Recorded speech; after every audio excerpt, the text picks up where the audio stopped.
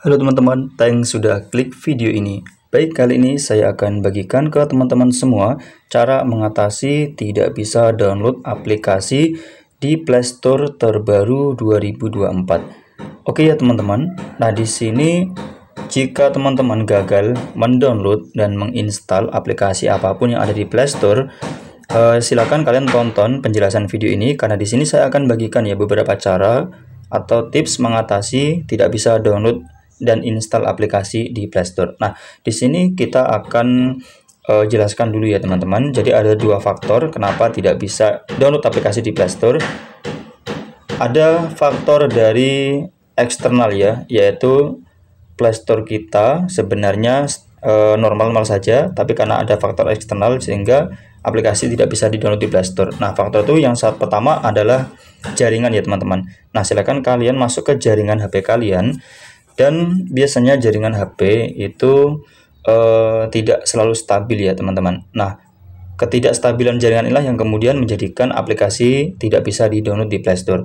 Nah, jika teman-teman jaringannya mengalami seperti ini ya, tidak stabil, terkadang muncul, kadang hilang, silakan kalian masuk ke setelan jaringan HP kalian. Jadi jaringan apa pun yang digunakan silakan masuk ke setelan, lalu silakan kalian uh, cari ya jenis jaringan pilihan. Nah, di sini saya akan klik dulu. Biasanya di setiap HP itu sudah menggunakan mode 4G otomatis ya. Nah, mode 4G otomatis inilah yang sesekali perlu kita matikan ya teman-teman untuk merefresh. Nah, jadi kita bisa gunakan 2G atau 3G saja ya, lalu tekan OK. Nah, di sini kita menunggu sampai sinyal 4G-nya hilang ya. Di sini untuk fungsinya untuk merefresh jaringan ya teman-teman agar lebih stabil. Oke, di sini kita tunggu saja sampai 4G-nya hilang. Oke.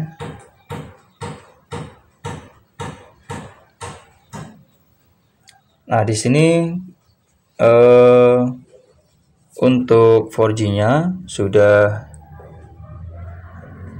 sudah hilang ya. Nah, sudah G teman-teman. Kalau sudah G seperti ini, kita aktifkan lagi untuk setelan 4G otomatisnya.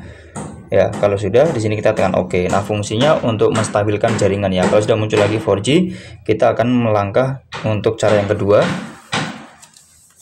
Baik, untuk cara yang kedua, jika jaringan kalian sudah stabil, jangan lupa untuk selalu cek penyimpanan internal ya. Nah, pastikan penyimpanan internal HP teman-teman ini juga tidak penuh. Nah, di sini penyimpanan saya masih 119 GB ya. Jika penyimpanan internal HP kalian ini hampir penuh, silakan teman-teman hapus file baik foto atau video yang tidak digunakan lagi agar penyimpanannya uh, kembali longgar ya. Karena untuk mendownload aplikasi pasti butuh penyimpanan internal yang cukup. Kalau sudah dipastikan kedua hal tadi, kemudian kita akan masuk ke Play Store. Nah, baik di Play Store ini ada beberapa setelan yang harus kita cek ya teman-teman. Yang pertama adalah setelan akun Google. Ya, bisa jadi kenapa Play Store tidak bisa mendownload aplikasi, ini karena akun Google kita yang bermasalah ya. Nah, pastinya kita tidak punya satu akun Google saja di HP, biasanya punya dua, tiga, atau empat akun Google ya. Nah, ini bisa kita gunakan teman-teman. Kita klik ya, kita klik untuk bagian akun ini. Nah, kemudian kita pilih, ya kita pilih akun Google yang lain. Oke, di sini saya akan pilih akun Google lain, klik, nah seperti ini, kemudian terima ya layanan. Oke, sudah diubah untuk akun Google-nya. Baik itu untuk cara yang ketiga yang. Kemudian untuk cara yang keempat, di sini kalian masuk lagi ke setelan uh, Play Store ya. Masuk ke setelan Play Store, lalu klik di bagian bawah ya, klik setelan. Nah, di setelan ini cek preferensi jaringan. Nah, oke, kemudian cek preferensi download aplikasi. Pastikan untuk download aplikasi ini sudah kita gunakan mode download melalui jaringan apa pun.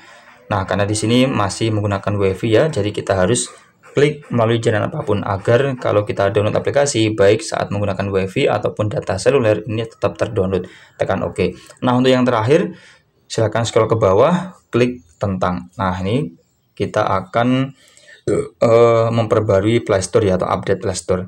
Ya, jadi bisa disebabkan Play Store kita yang belum terupdate, teman-teman.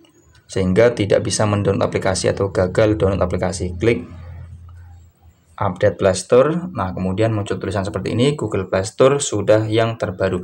Kita tinggal tekan OK, maka setelah kita klik OK, aplikasi Play Store di HP kita ini akan di-update secara otomatis ya.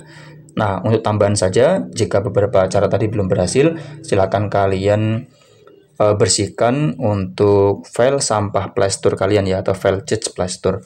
Nah, caranya ditekan saja aplikasinya lalu klik info aplikasi.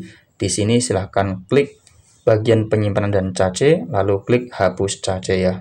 Nah, cache ini adalah file sampah. Ini juga bisa menjadi uh, penyebab ya kenapa Playstore tidak bisa download aplikasi. Klik hapus sampah. Oke. Nah, untuk langkah pamungkasnya atau langkah terakhirnya jika beberapa cara tadi belum berhasil mengatasi tidak bisa download aplikasi di Play Store HP kalian, di sini kalian bisa merestart HP ya. Kalau saja yang error itu HP-nya ya, bukan Play Store-nya ataupun jaringannya. Untuk merestart, kalian tekan aja tombol power on off seperti ini. Lalu muncul dua pilihan ya, matikan daya dan mulai ulang. Silahkan diklik saja mulai ulang setelah diklik maka HP kalian akan mati dan secara otomatis akan menyala kembali. Jadi tunggu sampai HP-nya nyala. Kalau sudah nyala silahkan download lagi aplikasi di Play Store HP kalian. Baik, kita akan coba ya. Saya belum punya aplikasi mobile JKN ya. Kan saya coba klik install masih tertunda. Nah, sekarang sudah bisa teman-teman untuk mendownload aplikasinya. Bagi teman-teman, sekian dulu untuk video kali ini. Mudah-mudahan bermanfaat. Jika suka jangan lupa like dan subscribe serta aktifkan loncengnya agar supaya tidak ketinggalan video terbaru dari channel kami. Terima kasih dan sampai jumpa di video saya berikutnya.